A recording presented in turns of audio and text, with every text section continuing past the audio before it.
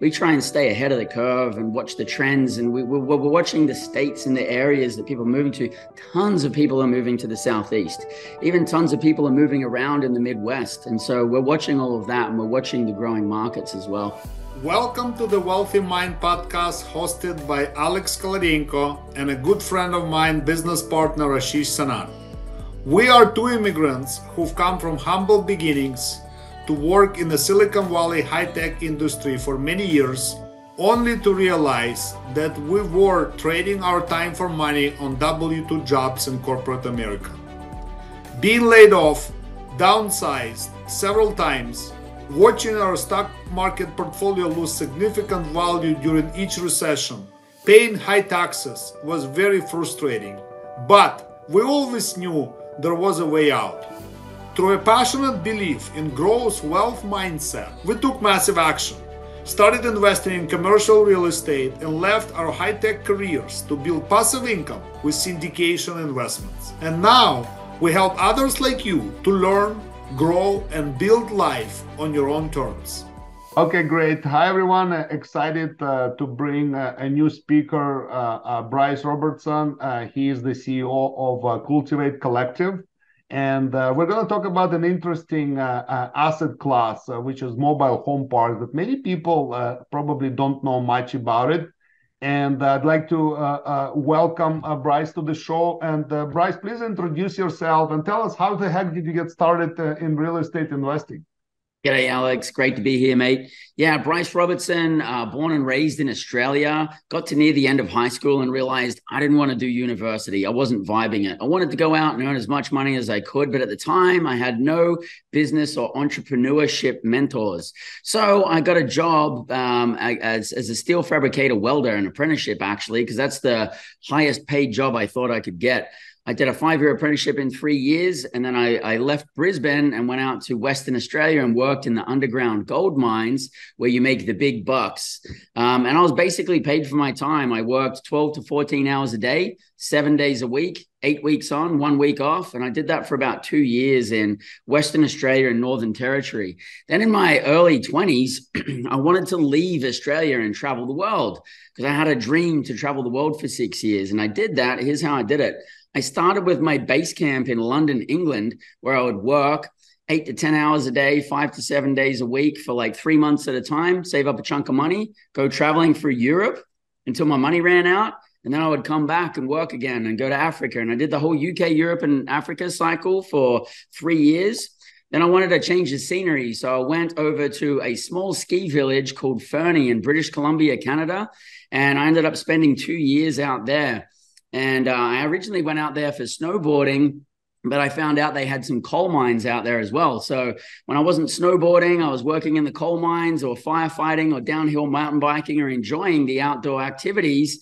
And because I was so engrossed with what was happening there, I it enabled me to save up a bigger chunk of cash, and I stayed there pretty much for two years. I didn't really travel anywhere else with that chunk of cash, it enabled me to go take a 18 month surfing and scuba diving trip down in Central and South America. And in the last six months of that surfing tour, that's when I met my wife, who's a native from California. And so, about uh, 13 or 14 years ago, I ended up here in the States. And when I got here, I wanted to recreate this freedom lifestyle, but I wanted to do it this time, one, with my money not running out, and two, with my money actually growing uh, while I was while I was enjoying the fruits of life. Yeah, and you know, real estate is a great vehicle. I think a lot of us, you know, uh, uh, picked real estate as a proven, well-building vehicle to to achieve financial uh, freedom. And uh, walk us through kind of an early uh, struggles. Did you start uh, maybe you were successful right away? Many of us, you know, kind of start small, uh, either in a single family space, maybe on part-time basis, and you know, kind of walk us through the journey. We all have stories to tell, but everybody has a fascinating story. So I would like to learn more about you, the early uh, beginnings of your real estate investing journey versus we're gonna have a deeper dive of what you're doing now. Yeah, so in the beginning, I had shiny object syndrome. I wanted to do everything. I wanted to get. I can relate to that. So I ended up doing about seven different side hustles. I was um, doing uh, working on for, foreign exchange trade market. Um, I was trying to fix and flip homes, do multi-level marketing, take over my father-in-law's construction business, and the whole list went on. I had about seven different side hustles, and I was having zero success in all of it. And then I just realized, dude, I'm spinning plates and wasting my time. I need to laser focus on one thing. Right. So I had a I had a background in construction and construction management. So I knew it was going to be real estate, but what was I going to do in real estate? So I looked at all the different ways to make money, fix and flip, multifamily, self-storage, mobile home parks, notes, like short-term, long-term. Like I looked at the whole kit and caboodle, and over and over again, mobile home parks kept popping off the page. I get to contribute to the number one need of, in real estate in America, and that's the need for affordable housing. Uh, the supply and demand is very in favor of mobile home park owners because there is so much of a demand for affordable housing. Excellent tax benefits, tons of upside, hardly any competition. I was all in. So um, I decided to put all of my eggs in one basket. And I said no to everything else. I laser focused on mobile home parks. And three months later, I had my first mobile home park under contract. But at the time, I had a negative net worth only had $2,000 in the bank, which is enough to put an earnest money deposit down. And I had no credit because I hadn't been in America long enough to build credit. So that was my first experience of needing to raise capital and syndicate a deal. And then three months later, I ended up getting it across the finish line, got a couple of investors to join, and figured out some creative financing through someone's retirement account. And uh, once I did that, I, I, I literally felt like I was 10 foot tall. And I'm like, if, if I can do that, like I could do anything in real estate. So, you know, my first mobile home park was a 40 space park. It was in um, California. And uh, it was like $600,000 or just a little bit less. That was the park I just talked about. And then my next one was like a 200 space park. And then, you know, next thing you know, two and a half years later, I created financial freedom. Mm. Yeah, so I think it's important to get started. And in the beginning, I, I, remember also it is scary, it is uncomfortable, and being able to take that fear and still make a calculated risk and steps toward that uh, uh, direction of financial freedom is very important. A lot of people go through this sort of phase of paralysis analysis. They wait for the right deal. Interest rates are too high. Interest rates are too low. The competition, this and that how are you able to overcome uh, that fear? I think in your case, you, you tried so many things. You probably failed many times as well. That's why you took a leap of faith to say, you know, wh- why why not go into the direction? This is like a great question, and honestly, at the time, I didn't want to. I didn't want to. Oh, if I had to try and think how I was going to solve all of the pieces of the problem, I probably would have taken myself out of the game. But all I did is I just thought about what's the next step. The next step is I need to get this thing under contract. So I just focused on getting it under contract. Once I got it under contract, the next step was to do some due diligence and find out if it's actually a good deal. Great, it's a good deal. Then the next step was like, oh, I have to get a loan. Oh, I have to raise capital. And I just did it piece by piece. And I didn't think any more than one step ahead. Hmm. Uh, if I had have tried uh, to sit back and, and figure out how I was going to do it, I would have taken myself out. And Something to add too is I had paid $30,000 on credit cards. It was actually $36,000 on credit cards to get a real estate mentor. Mm, and I called, I called him up and I said, Hey, dude, I've got this deal. I want to put it on a contract. I have a negative net worth, $2,000 in the bank and unseasoned credit, but I know I can get this done. He told me, You're dreaming, kiddo. You're never going to do it. It's not going to happen just come back to the club and do some single family homes like everybody else. You're out of your league. And so that honestly just motivated me. It, I hung up on the phone and I'm like, I'm not, I'm not calling that guy. It's he's not, he's not serving me to where I want to go. Hmm. And it gave me extra steam to be like, not only did I want to solve this, I wanted to be like, yeah, I'll show him I can do it. You know, so it was actually it was thirty six thousand dollars well spent because it motivated me to um, achieve the unachievable. Mm, to prove to prove him wrong and probably many other people along the way. We all have different uh, motivations. but let's go back to uh, uh, for for a moment. Uh, uh, before you even got to mobile home parks, you probably evaluated other asset classes, right? You, you did fix and flips. Uh, you probably looked at the multifamily. You know, there's industrial, there's medical offices. What was so different about mobile home parks that kind of attracted your interest, and you decided to focus on one thing? Yeah, so I tried to do a lot of other things, and I don't even like using the word try because we either do something or we don't do it. But I didn't do other things. I was attempting to do fix and flips, I was attempting to do some multifamily.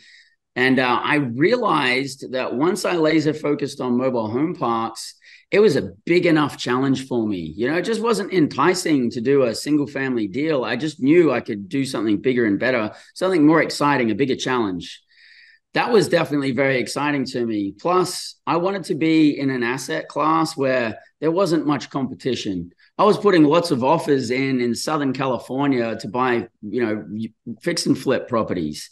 And there was like 25, 30 people bidding on the same property and it was a price war. And I didn't want to be in that environment. I wanted to be in an environment where maybe there's one or two of us, or maybe there's nobody. It's just us. And um, so I really liked that piece, like not much competition. And even still now, and I've been doing this full time for nine years now, there's very little competition, especially in the niche that we have. Plus, mobile home parks um, have really incredible tax benefits. We do cost segregation studies at our properties as soon as we take over. And we give that study to our CPA. He adds it to our tax return for the first year, and that our investors get you know anywhere from half to all of the money that they invested back in tax benefits in year one just because uh, we went and spent $5000 and did a cost segregation study. And so that's really great. Um, also you know even now today we're buying properties as low as 50% occupied like half full even those properties that we buy and ones that are more occupied, cash flowing straight out of the gate. So we don't have to wait to send distributions to investors. We can hit the ground running and we can pay our distributions to investors. And there's tons of upside in filling the lots and filling the homes. And that's what we specialize in. Um, also, you know, getting to solve America's number one problem in real estate, and that's the need for affordable housing that is no underestimated um, statement. Like mobile home parks currently, there's about 40, maybe 45,000 mobile home parks nationwide. And there's arguably about a fifth of Americans that need affordable housing. When you do the math, mobile home parks are the number one contributor to solving the affordable housing problem. But by math alone, mobile home parks can't solve the problem. It's that big of a problem. So um, until that problem gets solved, um, as long as we buy a mobile home park in the right market that has a need for affordable housing, uh, filling the homes is is it's it's almost ridiculous. Some of our parks have a waiting list of up to 80 people who are pre-screened and pre-qualified, and we literally can't bring homes in quick enough to fill it up. Um, so we're really on the right side of the supply and demand, which is really good in business, but also we're getting to help America's um, you know lower income and lower demographics, and so and I mean the list could go on. I could talk about all the benefits for real. this is interesting. Obviously, I, I learned a lot. Uh, just what you just mentioned, you know, from a, a, a competition uh, point of view, it's it's it's a niche type of investment uh, asset class, right? I mean, multifamily and single family homes. This is probably your go-to uh, asset classes that many people know when they're starting out. But when you start to create kind of your own lane, you need to figure out is this the direction that you want to go, or, uh, or maybe pivot into something else. So maybe walk us through your typical, uh, uh you know, mobile home parks as far as uh, the deal and the investment. You know, perhaps you you you you take us uh, through a journey of you know how do you find deals? What kind of allocations are these? Who, who are the typical tenants are? What's your typical business plan? Uh, so that we, we learn a little bit about uh, uh, the particularities of the deal. Yeah, so we've got a whole acquisitions team that's working on our acquisitions. We do mailers and cold calling, but honestly, where we get most of our deals from today is off brokers because not only is mobile home parks a unique asset class with not much competition, we also specialize in buying 50% occupied properties at a at a large scale. So we're actually targeting 500 spaces to a thousand space portfolios in singular acquisitions, and so we're talking about like 30 to 50 to 80 million dollars in acquisition value.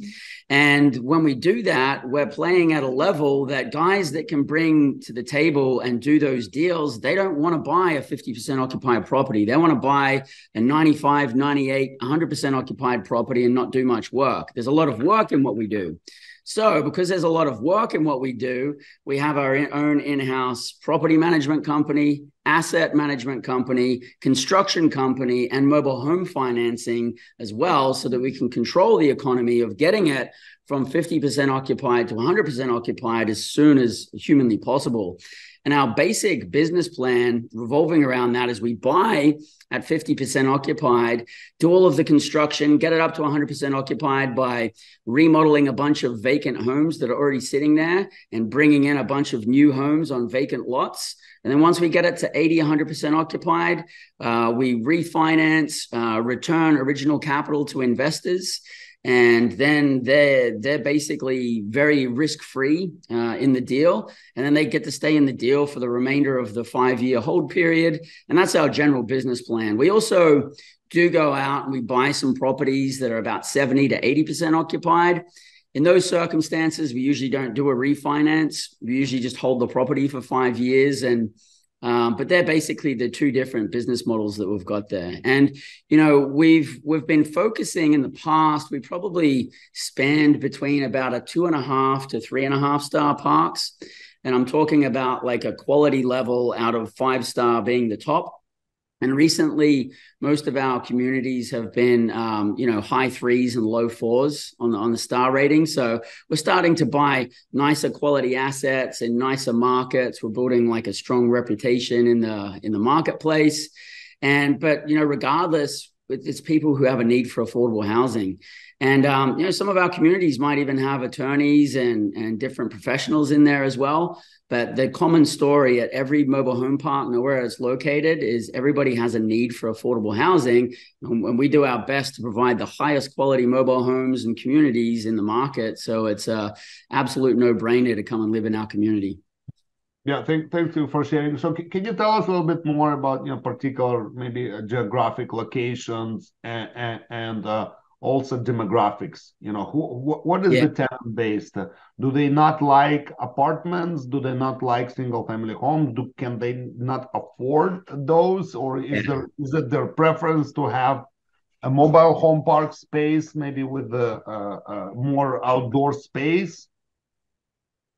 Yeah so geographically so if we're talking about multifamily apartments most operators would just choose one or two large MSAs and just go deep because there's a lot of apartments there. But again, there's only about 40,000 mobile home parks in the entire of America. So there's really not that much in each market. So as operators in the mobile home park space, instead of us picking an MSA, we pick a geographical region. And so we're in the Southeast and we're also in the Midwest as well. They're the two main areas that we actually buy parks in, and we've and we aim to buy them in the largest MSAs that are in the uh, Midwest and in the Southeast, and we're starting to build a really good footprint.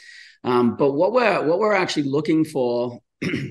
as far as the demographics go, is we want to test the market to know if it has a need for affordable housing. So we want to see that single family median house pricing is at about $120,000 um, uh, or above. And that means that there's a pretty big gap in between someone paying rent for a mobile home and someone being able to qualify for a single family home in that market. Um, we also like to see a 1.5 times multiple on what it costs to live in a mobile home park compared to what it costs to live in an apartment in the same market. So if they're paying like $500 a month to stay in the mobile home community, we would want to see that it's at least 750 to stay in the apartments. That's that means that they would have to increase their rents by 50% to go and stay in apartments. That's a big gap. There's a yeah. need for affordable housing in that market. So, you know, we do we do those checks and then we we check and test all of the other mobile home parks in the market to find out where the rents are.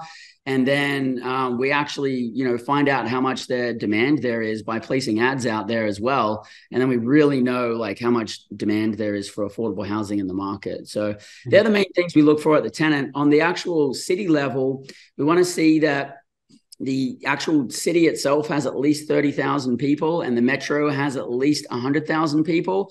That's for two reasons. We need to have enough tenants to be able to fill the vacant homes and vacant lots. The other reason is is uh, we need to employ contractors into our construction company in the local area, and if we don't have enough contractors to be able to pull from to get the job done, that's usually the harder of the two pieces. So we, we like to try and be in like, you know, decent markets in, in the Southeast and Midwest.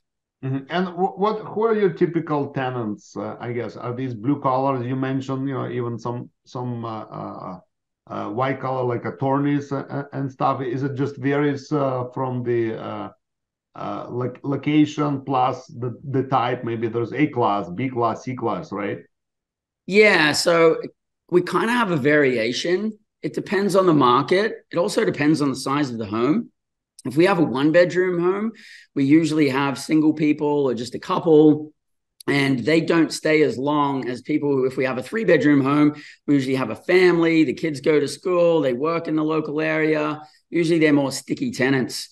Um, we have people on Section 8 in some of our mobile homes and on government subsidies and um, different uh, government plans, all the way through to like, um, you know, local service workers, people working at local factories, blue collared workers, and then all the way up into like white collared and attorneys and, and across the board. And really, it depends on the market, depends on how close we are to downtown depends on the demographics of the area and the size of the homes. But the size of the home is probably the biggest variable. We we like to have larger homes. It's um we we fit families in there and um yeah, so they're usually the better communities.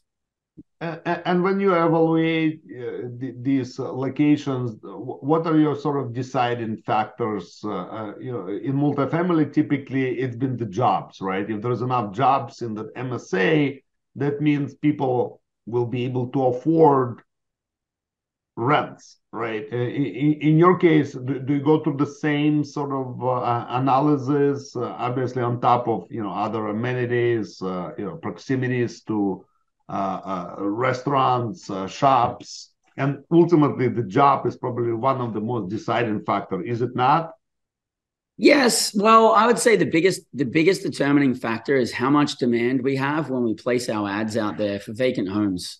And that that lets us know how much demand is there. We do want to feel good about the uh, economy of the area. We'd like to see that it's a growing market. We we certainly love it when we know large employers have just moved in and they're bringing in jobs, or maybe there's some flagships like um, government uh, projects and state projects, hospitals. Um, even in some markets, military, although you know military is a little bit roll the dice because they do close down some military places as well. Um, but we like to look and, and know that there's a handful of, of good employers in the area for sure. Mm-hmm. Um, but we also want to know how much demand there is in that market and how much there is a need for affordable housing. The other thing we look at is I actually study macroeconomics. So I'm looking at the great American migration. We're not in a time anymore where people necessarily have to work at the place that they live. A lot of people can work virtually. And so we're seeing people move to different areas and migrate to different areas for different reasons. And so we try and stay ahead of the curve and watch the trends. And we, we're, we're watching the states and the areas that people are moving to. Tons of people are moving to the Southeast. Even tons of people are moving around in the Midwest. And so we're watching all of that and we're watching the growing markets as well.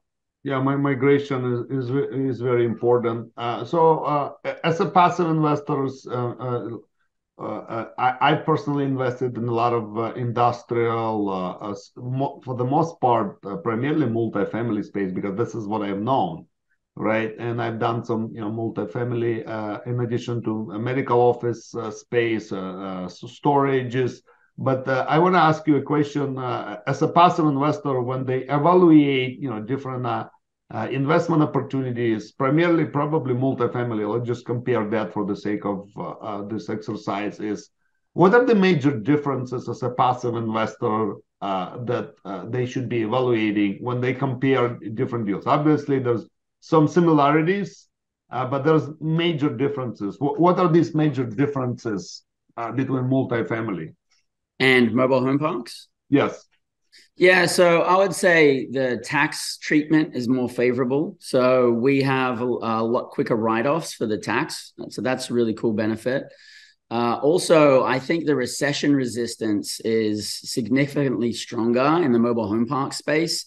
So if things happen economically and there's a downturn and people have to downsize and people are getting laid off and people are closing businesses, what happens economically is people downsize in their housing. They go from more expensive housing to maybe A class apartments and they go from A class to B class, B class to C class, probably C class to a mobile home park. They probably wouldn't go to a D class, some would, but and then you got to think about it like what's below a mobile home park or you're either living with your family or like renting a room somewhere or you're living in your car or you're homeless. It's it's some of the most affordable housing in a, in America, and the, the, the supply and demand is so in favor for mobile home park owners that there really is a strong amount of recession resistance, which I think is very very important where we are economically right now and where I believe we're heading into in the next two to five years. So that's a really cool benefit. Another one is if if we have apartments, let's say we have a hundred spare, a hundred unit apartment building. Well, if we want to add on 20 additional apartment units, we have to spend the money to get all of that constructed and we have to get through city approvals. This whole, it's a long process and it's expensive process. And then there's upside. With mobile home parks, we can go in, we can buy so let's say we buy uh, a 200 space mobile home park. Like this is actually what we're doing right now. Um, we have about 100 spaces that are occupied and rented. We have about 50 vacant homes. We have about 50 vacant lots. All we have to do is go in and remodel those vacant homes. We can do about seven homes per community per month with our construction crews. And then one month later, they're rented and then we just increased the value of our property by 70,000, sorry, 50,000 to $75,000 per lot. And we just, we do that by 50 over a couple of months. We just massively increased the value and forced the appreciation of the property. And we have a lot more control, a lot more flexibility, a lot more pound for pound upside for how much we have to spend to how much we can gain in doing that in the mobile home park space. And that's why today in today's market, we can buy 50% occupied properties, cash flow straight out of the gate, and then get to um, 100% occupied in like 18 to 24 months. And it's it's just it's a really profitable game where we feel like we can still um, bring to the table attractive investments for investors of what they're looking for. Uh, we don't have to diminish any of the returns that we're, that we're providing this is what we've been doing historically. And um, yeah we can we can do that in today's market. While interest rates are increasing while a lot of other operators are holding off on distributions we're still paying them out. And uh, yeah obviously past performance cannot uh, guarantee sure. performance. And i'm not making any like definite statements here or anything like that. I'm just telling you what we've done in the past um, but yeah, we, we this, is this. This, this, is good. These are the major things from even from the task perspective. I didn't know that uh, mobile home parks could do more uh, uh, uh than than uh, multifamily. What are the risks uh, that should investors know about? Obviously, there is no risk-free investment. can you maybe just highlight certain things that when people evaluate deals, they'll say, well I didn't think from that point of view, and I need to pay attention and, and, and get more clarity. You know, in a multifamily space, you know, it's been uh, bridge loans, right? Some of these loans have gone up so high that a lot of people either didn't have a rate cap or didn't think that it would go that high. They didn't have enough reserves. So can, you maybe just highlight a couple of risks as a passive investor that you should be aware of when you evaluate uh, the deal? Yeah, I think the number one risk is the operator who's actually managing the investment. And um, I like to personally put most of my decision making power in who's going to manage it because someone who's not a good operator can take a really good quality asset and drive it into the ground. But someone who is a really good operator can take an average investment and make it perform really well and run like a smooth old machine. So I think the actual the operator is the most important part. Looking at the actual project level, um, I think if we have communities that have uh, no privately owned utilities or relatively risk free privately owned utilities like septic systems and uh, water wells, that's fine. But once you get into electric systems, gas systems, lagoons, you know, if something goes wrong with those systems, we're talking about hundreds of thousands, if not millions of dollars of, of risk and liability. So we like to stay away from those deals. Or if we did bring those deals to the table, we would drop the purchase price according to the uh, risk that was involved there. But apparently, unfortunately, all we have for private utilities is septic, and uh, we may have a couple of water wells. So we're not, we don't really play in that game. One thing that I think is, um, you know, probably the riskiest thing that has some of the biggest question marks is our economy. And so the way we get around that, because we think interest rates are probably going to go up, cap rates might go up, um, construction timelines might take longer. Um, staffing might be a problem. Property taxes might go up. So the way that we get around this is when we we send out projections to investors, we're building in uh, the ability to have a 2% increase in interest rates between now and the refinance.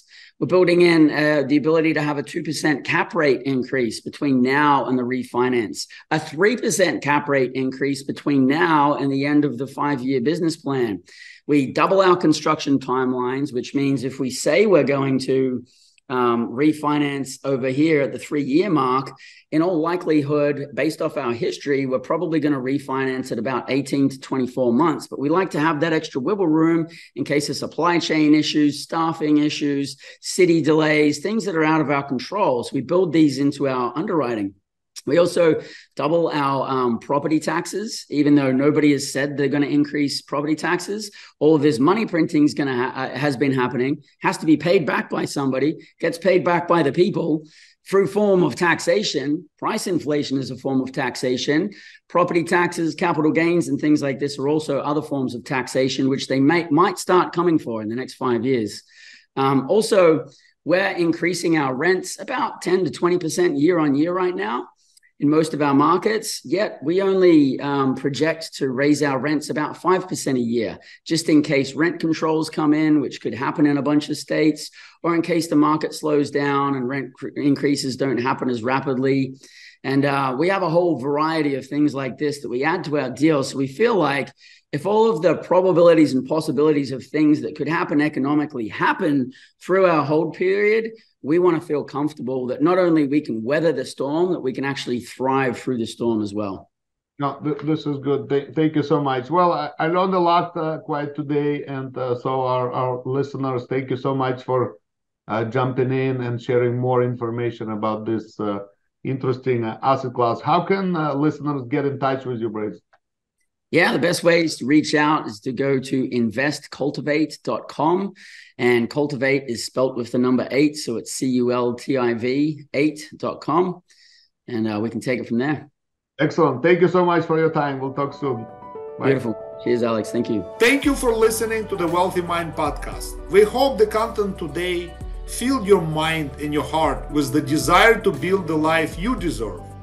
If you haven't done so, already, please do us a favor and kindly like and subscribe to our podcast so you don't miss any future impactful episodes.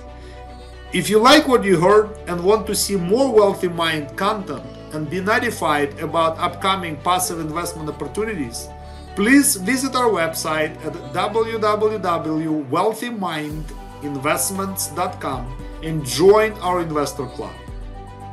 We, you can also follow us on social media channels, as we are on Facebook, YouTube, and LinkedIn. Thank you for your time and happy investing.